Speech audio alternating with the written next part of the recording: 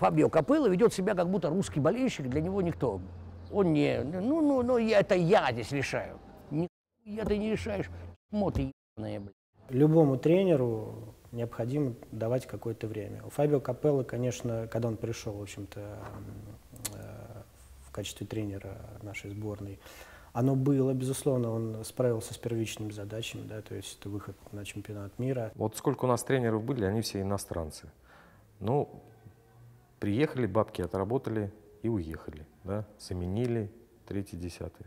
Вот сейчас, ну, Капеллу уберем, ну, допустим, да, потом мы не выйдем на чемпионат мира еще 20 лет, да. А вот Капелло плохо тут тренировал, а те вообще не выйдут.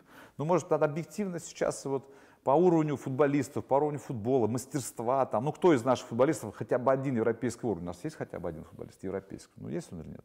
Ну, нет, наверное.